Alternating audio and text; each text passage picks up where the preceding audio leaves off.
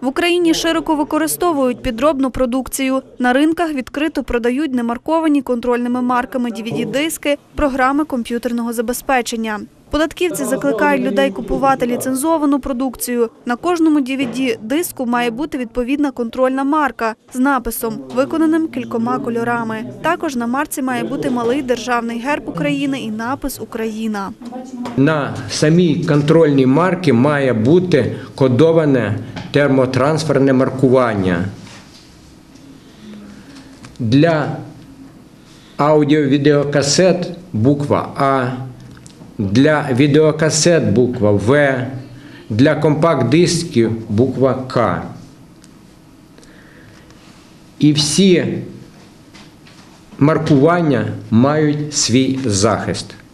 Микола Христофоров звернувся і до підприємців, власників кафе, ресторанів, барів, торгівельно-розважальних комплексів, закладів, де використовується музика.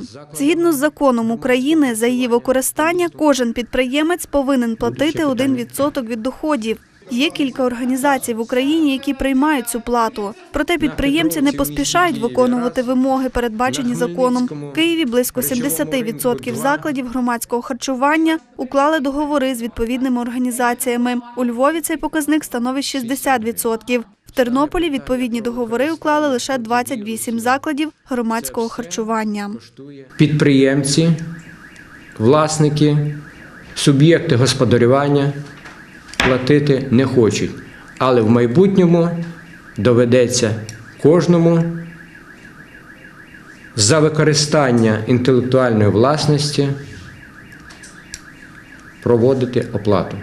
Розпорядженням голови Тернопільської облдержадміністрації від 18 грудня минулого року створили робочу групу, завдання якої боротися з правопорушеннями у сфері інтелектуальної власності. Робоча група приступила до виконання своїх обов'язків. В лютому виявили близько двох тисяч одиниць піратської продукції. Порушників чекає штраф на суму до 1700 гривень із конфіскацією контрафактних дисків.